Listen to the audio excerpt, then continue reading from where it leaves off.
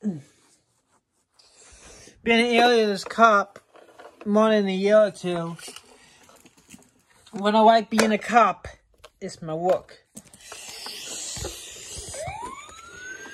I just got a call that someone filed a false document. Fraud document, minute document. So I need a little clarification. So we're gonna find the driver right now.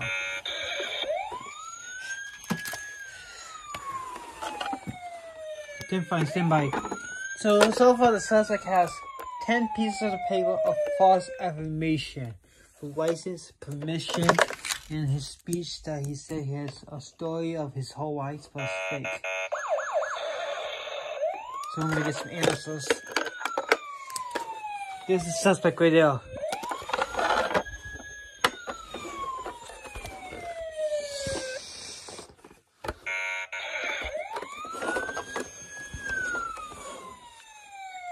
I want to see your hands. I want to see your hands. Let me see your hands. Let me see your hands. Let me see your hands. Let me see your hands. Let me see your hands. Let me see your hands. Let me see your hands. Let me see your hands. Open the door now. Open the door. Open the door nice and slow. Nice and slow. Let me see your hands. Me see the hands. Back in my voice. Oh,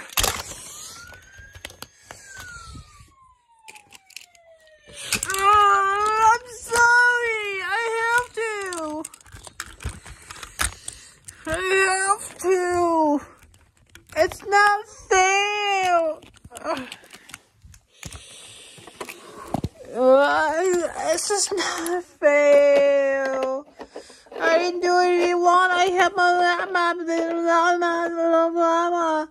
I love my Donna. I love my mama. Did you know you made fake? I have to. I have to. They will now reply to my email. So you got fake evidence that a judge and a claimant signed a piece of paper of evidence. You were there taking pictures of the. Besides 10 pieces of paper, you write to your uh, speech. You can explain it to the story, and then when you have pictures or videos, that's fake evidence. You could be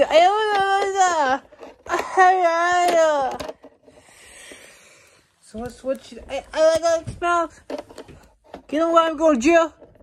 Cause I'm a I'm a criminal, man. I'm I'm a criminal. When I, when I told you to get out of the bus, you get out of the bus. So, mm. so tell me your story.